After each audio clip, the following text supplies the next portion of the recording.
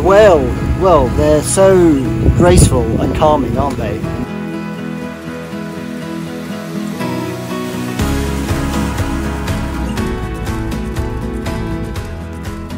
Ah, good morning, Nick.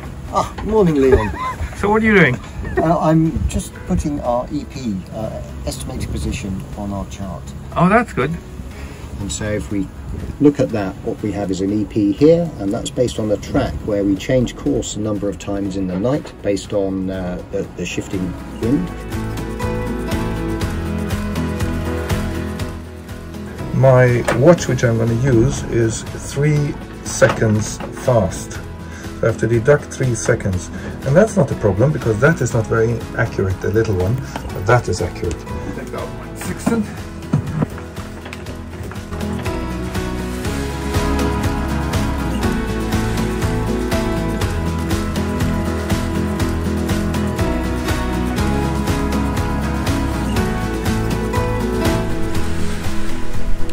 And this, the sea today is, is not perfectly flat, but it's, it's not moving much and it, it looks vast, a vast expanse of water in all directions.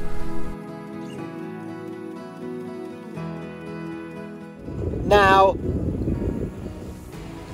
So this would be 38 degrees and 41 minutes.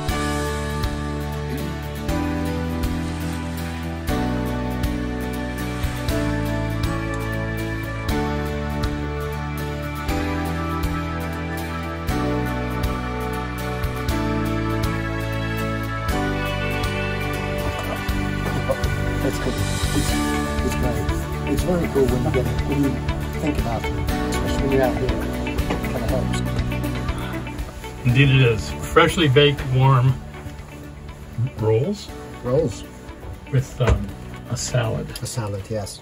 That's lunch on the Atlantic, isn't it? Oh yeah, Yeah, another Atlantic day in lunch. Atlantic. Yep. Yeah, and six. Pick something which is as close as possible to 1625, but it needs to have 54.6 in the end.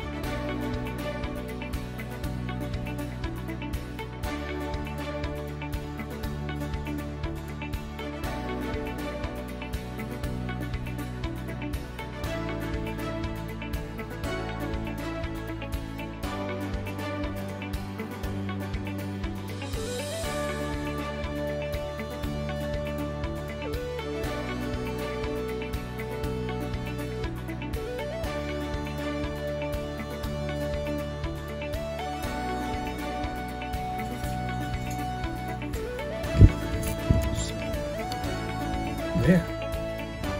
There we go. And you can see that is was your estimated position, right? Yeah. For the morning side. Yeah.